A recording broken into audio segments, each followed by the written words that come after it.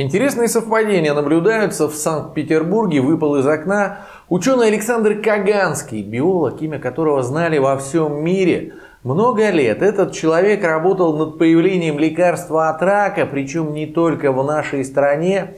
Последние несколько месяцев мужчина также принимал активное участие в создании вакцины от коронавируса при Институте генетики и молекулярной медицины в Эдинбурге, это Шотландия. Серьезный НИИ на минуточку, а на днях приехал в Питер ненадолго и, ух ты, выпал в окно.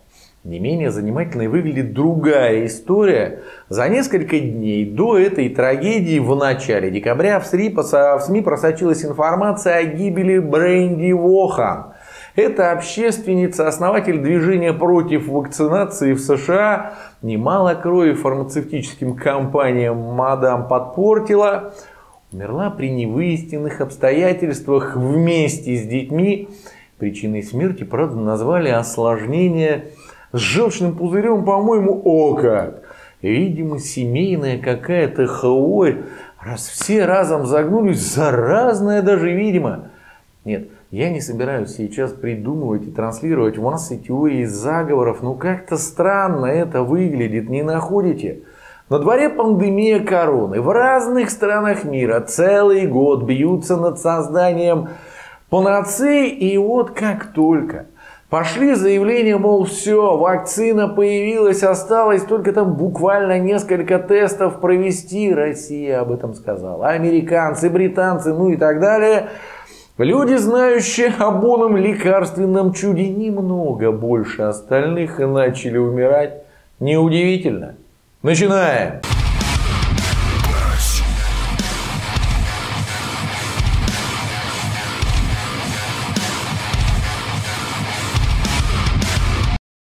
Ну и сегодня продолжение уже начатой истории. Во вторник мы опубликовали первую серию нашего анализа, скажем так. Кто не видел, посмотрите по ссылке, она в описании. Вам будет так понятнее просто о чем речь. Ну а все остальные запасайтесь попкорном и это реальная журналистика о Третьей мировой войне. Продолжаем рассуждать. И да, при чем тут коронавирус? Вот такой будет тема сегодняшнего выпуска. Поехали!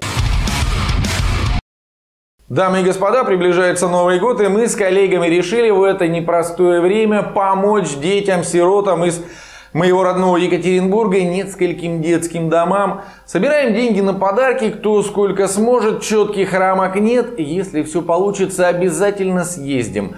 Обязательно поздравим ребятишек. Принять участие можно, перейдя по ссылке, она сразу под видео. Там все просто разберетесь, не уговариваю, но призываю.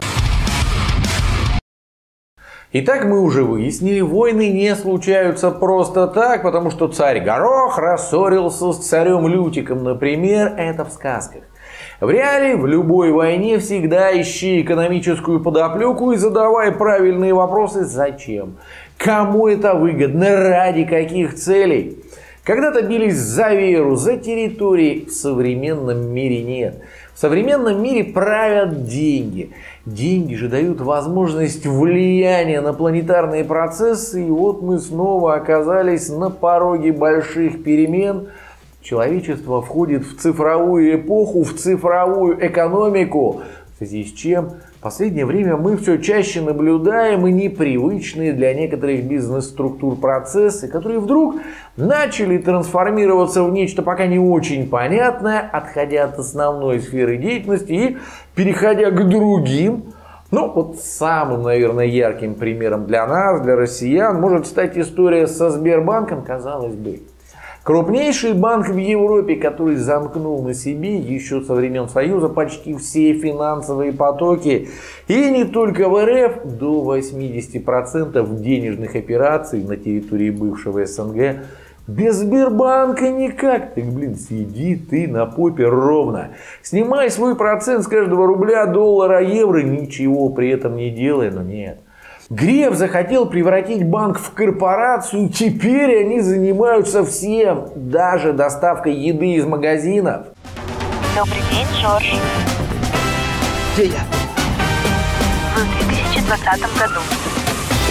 Не видят люди друг друга. Что-то мне не по себе. Ваши показатели в норме. Сделайте глубокий вдох. Музыка. Удивительная ситуация наблюдается и в других сферах экономики. Я имею в виду традиционные сферы, в смысле, которые пока еще остаются традиционными. Смотрите. В начале года стало известно о новом нефтяном кризисе. Настоящий скандал тогда разразился, ОПЕК плюс сказали, ребята, снижаем объемы добычи, причем круто снижаем.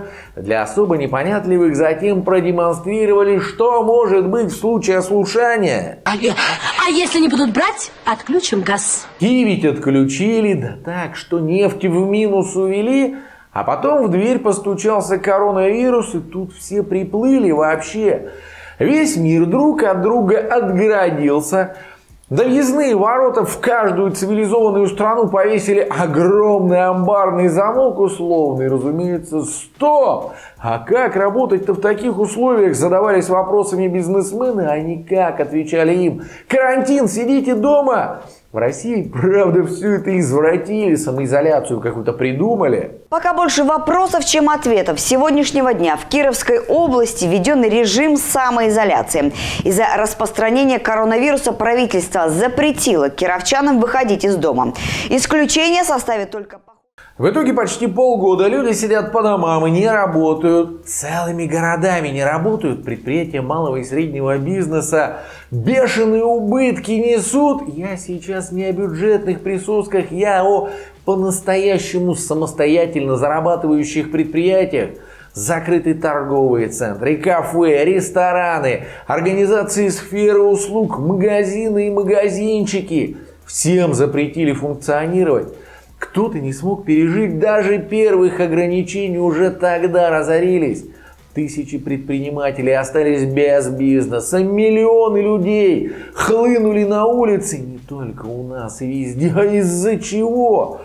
Из-за малоизученной болезни, от которой, кстати, смертность не такая уж и высокая. Простой пример, пожалуйста, ответьте мне кто-нибудь, как много людей, заболевших вот этим вот ковидом, вы знаете, десятки, сотни? Да нет.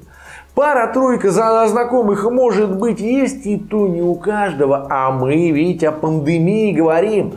О вселенском звездеце, то есть выйдя на лестничную площадку прямо сейчас, ты должен осознать, что твоя квартира чуть ли не единственная во всем подъезде, где все еще остались живые и здоровые люди, все остальные двери должны быть опечатаны. Соседи либо в больнице, либо в морге. Рекорд по числу инфицированных за сутки три дня подряд ставится во всем мире. Накануне прирост заболевших составил 383 тысячи человек. Это на 33 тысячи больше, чем днем ранее.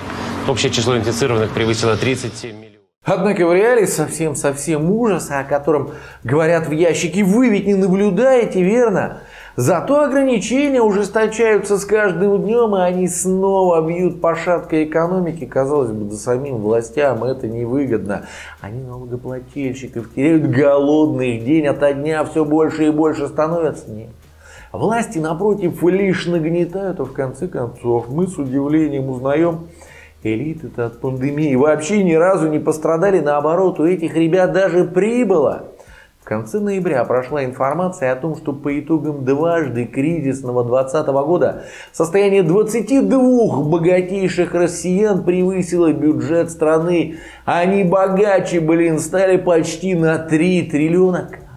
За счет чего? А все очень просто. За счет того, что под шумок начали скупать якобы неликвидный, якобы разорившийся бизнес по 3 копейки за пучок. Причем в прямом смысле по 3 копейки, как он бывший зять деда Вовы, что умудрился приобрести многомиллиардную долю в крупнейшей нефтехимической компании в Европе за 100 баксов всего. Кто и как получил какие-то там акции в этой компании. Оказывается, компания опубликовала э, э, свои данные на этот счет, свое отношение к этому делу. Оказывается, были программы поощрения высшего менеджмента. И вот господин Шамалов, он так же, как и другой высший менеджмент, получил по единым правилам. Есть и другие программы для другого уровня управления, они получили по другим правилам. То есть вот так вот, тихой сапой и методом цап-царап определенные граждане готовят для себя тепленькое местечко в новых экономических реалиях, прихватизируя ценное за бесценок. Подобное происходит по всему миру, еще раз повторюсь, не только в России. Но нас-то, россиян, оно как раз должно больше остальных насторожить. Мы ведь не какие-то немцы. Нас уже так кидали. По похожей схеме не так давно, кстати, 30 лет назад всего после развала Союза, когда активы огромной страны присвоила себе небольшая горстка негодяев. Вы ознакомились, ознакомьтесь с постановлением. Вы читали его вообще сами? Конечно, читала. Он носит рекомендательный характер. А наши юристы прислали нам В другую. стране никто не Давайте вводил я режим чрезвычайной ситуации. Вот, пожалуйста, оденьте. Ну, Нет, в Москве я не буду надевать. Нет. Ну, тогда мы не будем носить. Вы обязаны служить. Нет, не обязаны. Тогда книгу жалоб и на горячую линию оставлю вам. Пожалуйста, книга жалоб там, на горячую линию можно тоже позвонить. Ответьте мне кто-нибудь, что она делает? Это директор магазина, насколько я понимаю. Хорошо, я вам отвечу. Она собственными руками уничтожает предприятие, на котором трудится.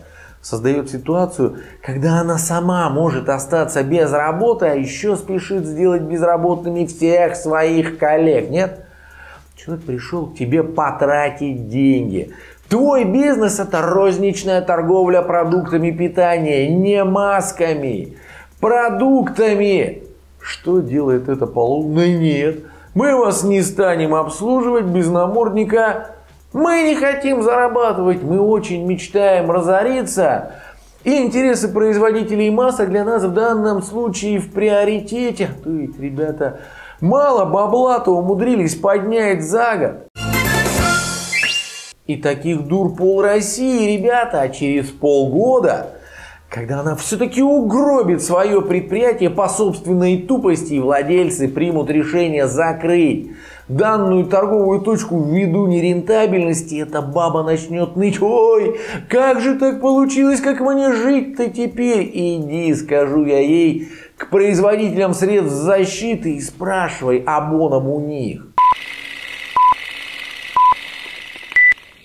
Я могу долго рассказывать, как у людей по всему миру пытаются отжать и это новое будущее, но стоит ли? Надеюсь, вы поняли, к чему я веду. Эта война будет и экономической, и информационной. Она будет другой, к такой мы просто не готовы. Но последствия могут быть ужаснее, чем от двух предыдущих голод, мор, тотальная нищета и безработица. Люди, как собаки, вынуждены будут бросаться друг, за друга, друг на друга даже за просроченную похлебку. Ждать осталось недолго, и такие вот новости станут обыденными. Очевидцы сняли на видео, как челябинцы дерутся за отходы из супермаркета. Перепалка возникла между жителями... А эти уже сейчас себе соломки подстелили. Взять, например, эту пресловутую вакцину. Да никто ее до ума никогда не доведет. Вон и Pfizer сказали, что у них тоже что-то не очень удачное получилось, как и с нашим спутником. А потому что невыгодно создавать конечный продукт, лучше еще лет сто разработкой заниматься, осваивая миллиарды, а потом пригодиться со своими освоенными миллиардами победителем в текущей войне. К сожалению, пока такими победителями можем стать не мы, впрочем, как всегда, народу лозунги, ребятишкам бабло, только в этот раз все будет гораздо хуже. Мы же как индейцы в Америке, потому что отдаем все за бусики, и не спорьте. Ребята долго к этому готовились. Они не просто так делали из населения потребителей под занавес. Еще один пример так и быть приведу. Ну вот смотрите. Мы с вами сейчас общаемся посредством YouTube, по сути, монополиста на рынке видеоплатформ. Как думаете, неужели на планете до сих пор не нашлось ни одной светлой головы, которая могла бы создать для данного монстра конкурентную площадку? Да нет, были такие спецы, я уверен. Просто хедхантеры Гугла очень быстро э, их вычисляли и нанимали за мелкий прайс к себе Элиты хотят также во всех остальных отраслях, которые некогда принадлежали народу. Поэтому еще раз, друзья, Третья мировая война уже идет, но только от нас зависит. Чего ждать по итогу? Победим или по Чубайсу они просто не вписались в рынок. Как-то так. Все. Это была реальная журналистика. Думайте, подписывайтесь на наш второй канал. Там мы публикуем чисто новостной контент. В друзья добавляйтесь, темы предлагайте, поднимем, обсудим. А я за сим спешу откланяться пока. Пока.